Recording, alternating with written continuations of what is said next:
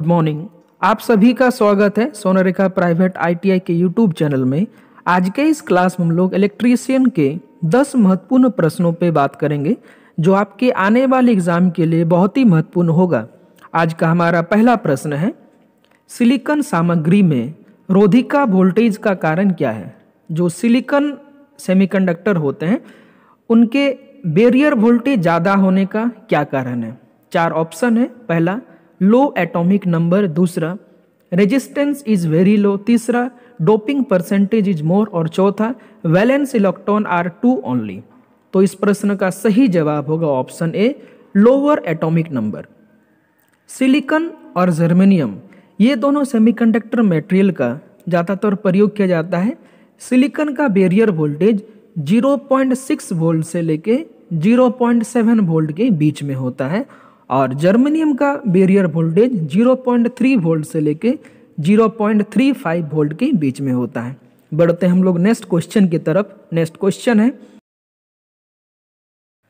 Reverse bias diode में चौड़ी बाधा का कारण क्या है? जब डायोड को रिवर्स बायस कनेक्ट किया जाता है तो उसका बैरियर की मोटाई बढ़ जाता है। इसका मुख्य कारण क्या है? ये प्रश्न में है। Option A, minority carrier in two material are neutralize option B neutron in N material is drifted to positive terminal option C hole in P material attract to negative terminal और option D electrons and hole are attract toward supply terminal diode को हम लोग दो प्रकार से connect कर सकते हैं, पहला फॉरवर्ड बाइज और दूसरा रिवर्स बाइज जब डायोड को हम लोग रिवर्स बाइज में कनेक्ट करते हैं तो उसका बैरियर की मोटाई बढ़ जाता है। इसका मुख्य कारण है electron and hole are attract toward supply terminal electron और होल सप्लाई टर्मिनल की ओर आकर्षित हो जाने की वजह से रिवर्स बायस में बैरियर मोटा हो जाता है।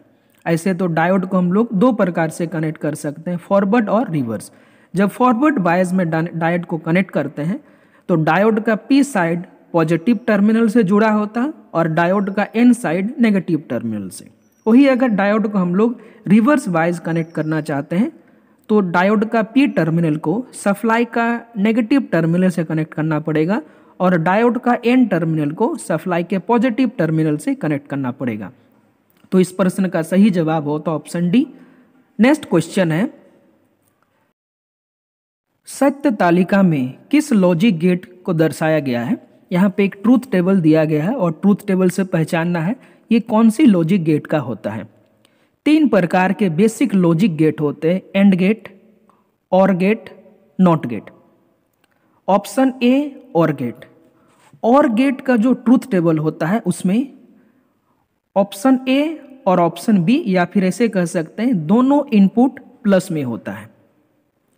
नॉट गेट का जो आउटपुट होता है वो इनपुट का रिवर्स होता है। अगर वन रहेगा तो आउटपुट में मिलेगा ज़ीरो अगर इनपुट में ज़ीरो रहेगा तो आउटपुट मिलेगा वन अपोजिट होता है। इसी प्रकार से जो एंड गेट होते हैं एंड गेट में मल्टीप्लाई होता है। तो अगर इस ट्रूथ टेबल को हम लोग ध्यान से देखें ज़ीरो ज़ीरो मल्टीप्लाई करने से ज़ीरो आता है। One zero zero zero one zero one one one तो ये ट्रूथ टेबल है एंड गेट का, क्योंकि यहाँ पे मल्टीप्लाई हो रहा। तो इस हिसाब से इस प्रश्न का सही जवाब होगा ऑप्शन सी, ये एंड गेट है। नेक्स्ट क्वेश्चन है which is the main application of S C R S C R का मुख्य अनुप्रयोग कहाँ पे किया जाता है? ये प्रश्न में है।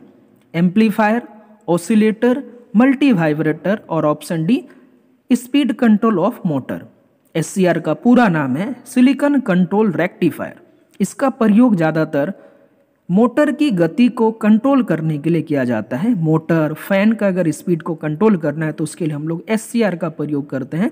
तो इस प्रश्न का सही जवाब होगा ऑप्शन डी ट्रांजिस्टर सर्किट में फ़ंक्शन का प्रकार क्या है? यहाँ पे एक ट्रांजिस्टर दर्शाया गया है और ट्रांजिस्टर में पहचानना है इसका किस फ़ंक्शन के लिए यूज़ करते हैं। स्विचिंग ऑसिलेटर मॉड्यूलेशन और एम्पलीफायर ट्रांजिस्टर दो प्रकार के होते हैं। पीएनपी और एनपीएन पीएनपी ट्रांजिस्टर और एनपीएन ट्रांजिस्टर दोनों के ही तीन टर्मिनल होते हैं कलेक्टर एमीटर और बेस ये जो आपको डायग्राम दिख रहा ट्रांजिस्टर का, ये ट्रांजिस्टर को हम लोग पीएनपी ट्रांजिस्टर बोलते हैं, क्योंकि पीएनपी ट्रांजिस्टर में जो तीर का निशान है, वो अंदर की तरफ़ जाता है। वहीं पे अगर हम लोग बात करें एनपीएन ट्रांजिस्टर में तो एनपीएन ट्रांजिस्टर में ये जो एमिटर में तीर बना है, ये बाहर की तरफ़ होता है। तो इस प्रकार से हम लोग आसानी से पहचान सकते हैं कौन सा पीएनपी ट्रांजिस्टर और कौन सा एनपीएन ट्रांजिस्टर है। तो इस प्रश्न का सही जवाब होगा ऑप्शन ए स्विचिंग ट्रांजिस्टर का यहाँ पे जो फ़ंक्शन है, वो स्विचिंग फ़ंक्शन है। बढ़ते हम लोग नेक्स्ट क्वेश्चन की तरफ़। क्वेश्चन है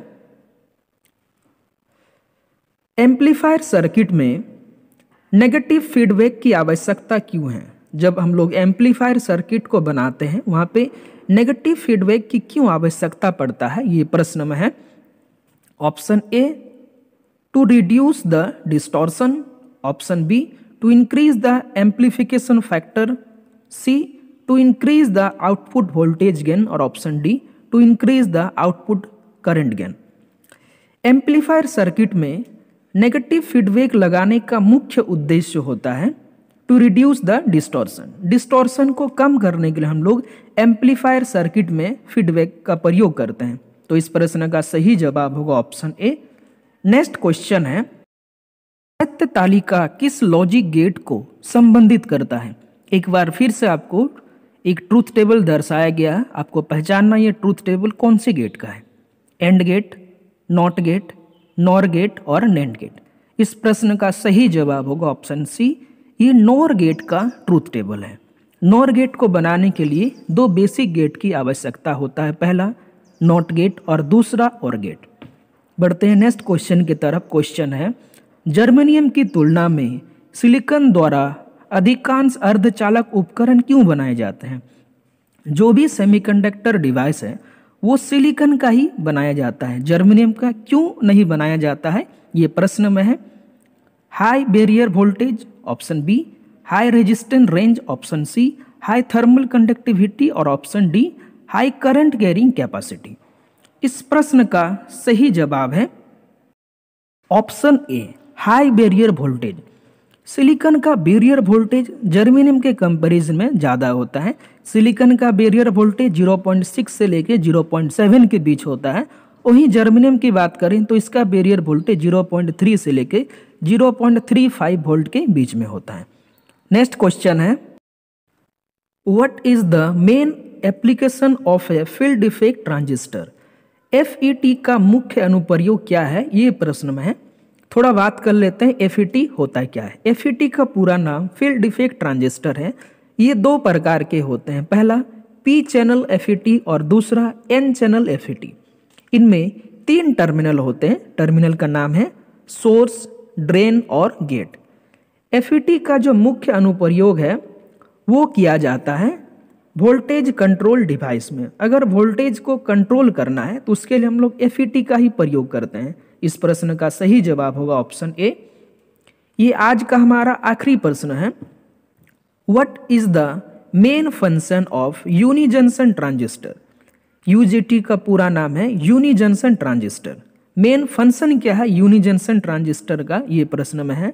Option A relaxation oscillator option B broadcast transmitter option C loudspeaker amplifier option D microphone input device तो इस प्रश्न का सही जवाब होगा यूजेटी का मुख्य कार्य होता है रिलैक्सेशन ओसिलेटर के रूप में।